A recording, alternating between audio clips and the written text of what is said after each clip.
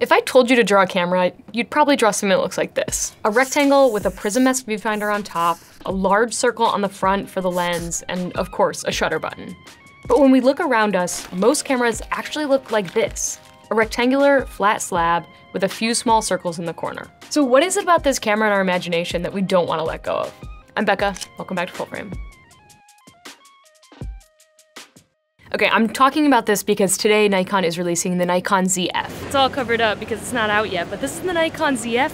We're in New York City. We got one hour. Let's go. It's a full frame camera. Here's all its specs. And images from the ZF, they're great. It feels like Nikon has finally hit its stride with color science and mirrorless devices. Nothing feels overly sharpened or too saturated. But none of that is really what matters in this camera. It's about how it feels in your hand. The camera is heavy with metal parts, it's got a loud clunk of a shutter sound, and most of the controls, such as ISO and shutter speed, are changed with sturdy metal dials. There's even a dedicated black and white filter switch that can produce high contrast black and white images with overexposed highlights and deep blacks for a timeless look.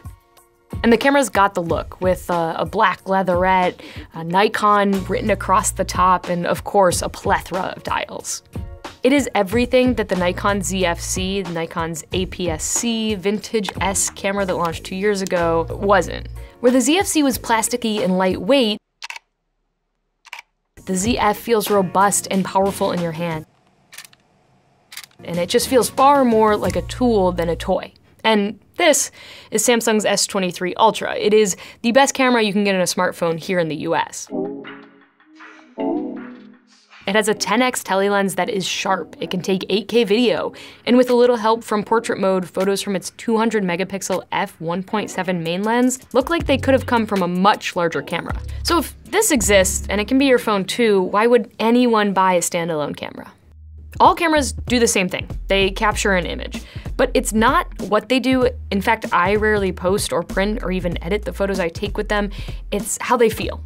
And these varied experiences are exactly why camera nerds own so many of them. On the other hand, if you've bought a phone in the last few years, you've probably experienced some level of disappointment. Outside of foldables, the experience of using a phone is no longer all that different from the experience you had with a previous device. It's still just a slab of metal that is uncomfortable to hold for long periods of time, can make calls, send text, and take photos. And in some cases, those photos are great, but rarely is the process of taking them enjoyable.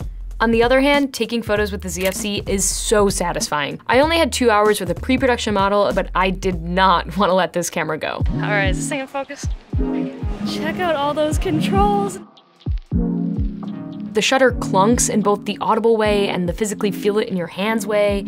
The dials click with intention, they aren't flimsy or easy to accidentally move, and the body looks beautiful in your hands. It's an ode to the first Nikon F-series camera produced in 1959. The ZF has some quality of life touches that make using it a lot easier than, say, using an actual vintage camera. And, and my favorite is that it now has a touch to focus setting where you can keep your eye to the viewfinder and use your uh, rear finger, either your right or your left, you can set either one to set your focus points. I love this setting, and the screen is incredibly responsive. Now, the ZF still doesn't have, you know, the, the body prediction settings of Sony. It's not the smartest autofocus settings, but it was plenty snappy for leisurely shooting. This camera's not perfect though. While I didn't have time to test essentials like battery life or high ISO shooting at night, um, I did experience some overheating issues when shooting 4K video.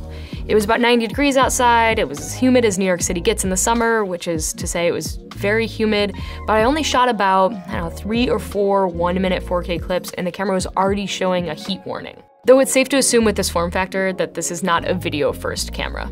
There's also only one SD card slot, and oddly, a micro SD card slot, which you don't see very often on a full frame camera. And out of the box, its hand grip is too shallow to be held all day while on a job, though Nikon will be selling a hand grip accessory post-launch. The ZF is not a workhorse. Instead, someone would buy the ZF for the same reason someone might buy a vintage camera. To have fun and to love using it so much that it inspires them to use it more. And that's not to say this camera can't produce great images. It can. But its experience lends itself far more to the lovers of craft than the folks who are chasing a paycheck. Where our phones have many abilities, the sole purpose of the Nikon ZF is to take a photo. And it is well tailored to provide the best experience when doing that. It's not made to spend eight hours in your hand like the more professional Z8, and it is also not made to shoot long video clips. But if you were to draw the camera that provides the most classic camera experience, well, I would draw something that uh, looks a lot like the Nikon ZF. This is so bad.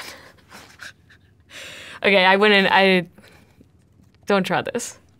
The Nikon ZF is gonna come in six colors. My heart soars for the green one, but I think the orange one looks a little bit like a toy, just my personal opinion, and it will be available starting today for this price. As I'm filming this, there is not final pricing, but th this is the final price. Next step for Nikon is gonna be creating lenses that look really good on the system. There's like a 28 millimeter and a 40 millimeter right now that have like a nice ring around them, like a silver ring gorgeous. But outside of that, Nikon's lenses all look really new. And yes, you could get an adapter and put old lenses on it, but then you're gonna have like the adapter on there. So I think some some sweet primes that are on the smaller side, as opposed to their 85 millimeter that's like massive, would be so sick.